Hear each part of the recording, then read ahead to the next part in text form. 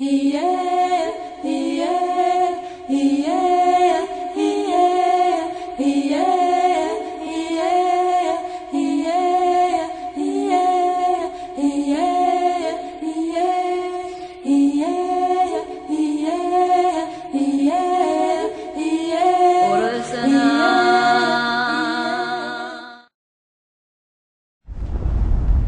seals are very important for Inuit culture in terms of providing uh, food on the table for the family and for the communities and also it's very important to be used for clothing and also uh, second, secondary industry is the uh, arts and crafts.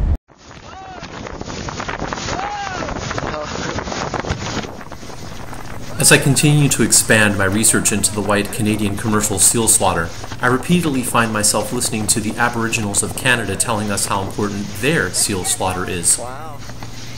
I'm building this video series to further expose the shameful behavior of the Canadian government. They're willingly misinforming foreign governments and animal rights supporters that when we succeed in ending the slaughter, we will also be bringing a close to a way of life for the Inuit and other Aboriginals of Canada.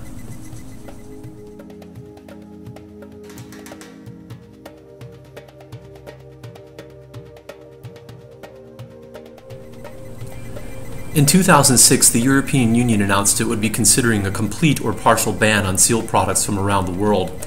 Aware of the dependency the Aboriginals of Canada have on both seal hunting and trade, an Aboriginal exclusion clause is included. Inuit and other Aboriginals would be allowed to continue selling their seal products in Europe if ban legislation were passed.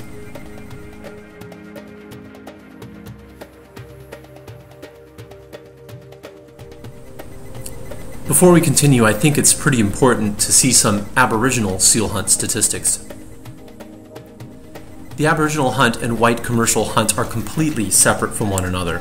Inuit hunt primarily ring seals, not harp seals. Not one Inuit holds a seal hunting license issued by the Department of Fisheries and Oceans. The DFO also does not regulate any Aboriginal seal hunts. They are all regulated by Aboriginal governmental bureaus. Consistent with their record in 2007, the Aboriginal take of the 234,000 harp seal kill is only 3%. The Inuit do not target baby seals. The Inuit hunt is one of subsistence, that being that they eat or use every part of the seal. After the Inuit have consumed everything they have need for, they create and sell arts and crafts with the remaining materials, Seals are not killed to exploit a crafts market like the white commercial seal slaughter.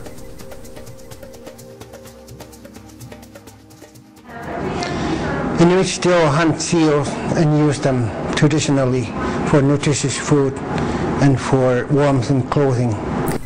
If the Aboriginal seal hunt has nothing to do with the white commercial DFO regulated seal hunt, why are some Aboriginals being seen supporting it? As a hunter myself, seeing it firsthand, we're always going on seal hunting so that we can have food for our family, so we can survive out on the land. And um, this is what's happening right now, so that it won't affect us.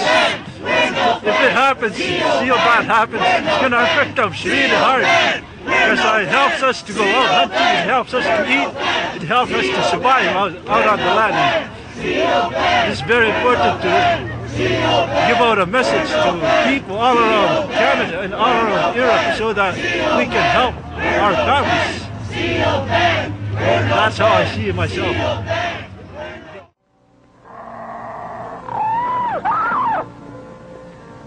Every February, off the east coast of Canada, some 200,000 harp seal pups are born. For three weeks, they live on the ice floes, unable to swim capable only of crying to their mothers for food. Although the continuation of their seal hunt is not threatened, the Aboriginals do have another legitimate concern. With the passage of the U.S. Marine Mammals Protection Act in 1972 and the subsequent Aboriginal excluded EU ban of the 1980s, the end of the white coat baby seal slaughter had finally been delivered.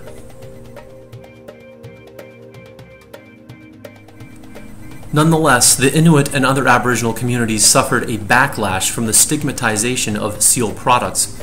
Even they were unable to sell their goods at a reasonable price. Their market was in shambles. Nevertheless, that doesn't justify their support of the white Canadian commercial seal hunt. I'm a professional sealer from Newfoundland. We've been on this earth a long time, and there's a place for me.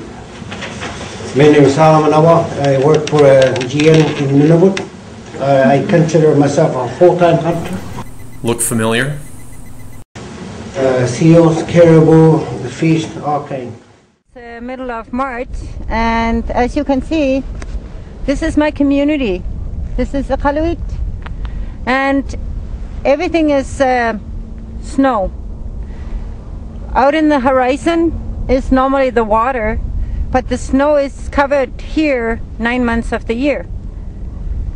We have no trees, we have no vegetation, so we live off the land. The land provides us with the seal. This is seal skin. We use it for clothes, for mitts, and we, we really cannot grow anything here. Again, we see in another DFO video an Inuit justifying their seal hunt. Why is the DFO so concerned with the Aboriginal hunt when they have no interest in it, a hunt that isn't even being threatened? In a document obtained through Access to Information, the Canadian equivalent of the Freedom of Information Act, it was found that in 2001, a memo from the Canadian Department of Foreign Affairs and International Trade that they recommended that Canada play the Nunavut Inuit card as the leverage to open the door to obtaining a waiver to the U.S. Marine Mammals Protection Act and have the East Coast sealers follow. Greenpeace was met with hostility and resentment from the townspeople of St. Anthony. I'd like to place a resolution before this meeting tonight that these people be given until tomorrow morning to place themselves back on their bus, remove themselves from St. Anthony and the province of Newfoundland. This playing of the Inuit card initiative can all be traced back to a discussion document entitled Defense of the Fur Trade from 1985.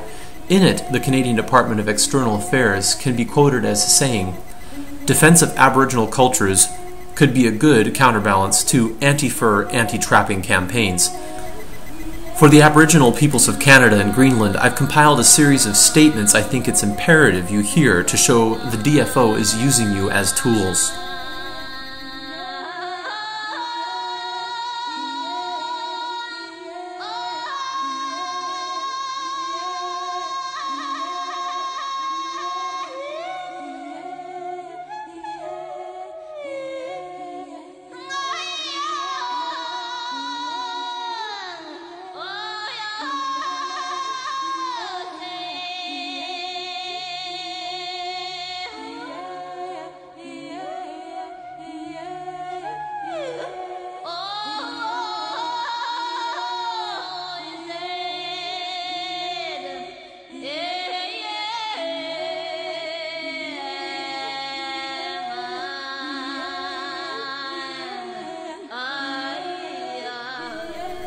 These people are your enemies.